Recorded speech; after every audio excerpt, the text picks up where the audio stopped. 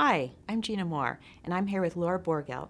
We're both faculty members at the University of Colorado Skaggs School of Pharmacy and Pharmaceutical Sciences. We are here to introduce the comprehensive contraception education course for Colorado pharmacists. As we all know, women's health is very important.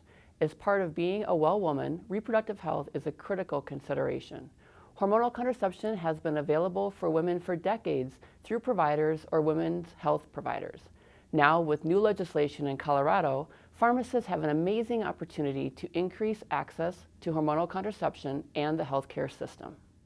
Senate Bill 135 passed the Colorado legislature in 2016, allowing pharmacists to provide direct patient care services to patients for public health needs.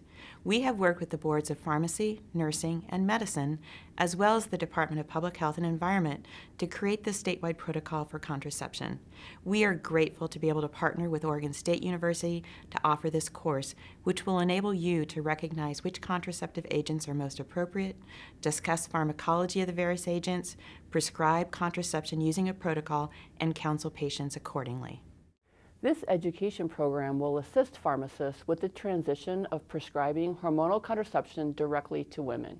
By providing knowledge and helpful tools, pharmacists will become a readily available healthcare provider for contraception.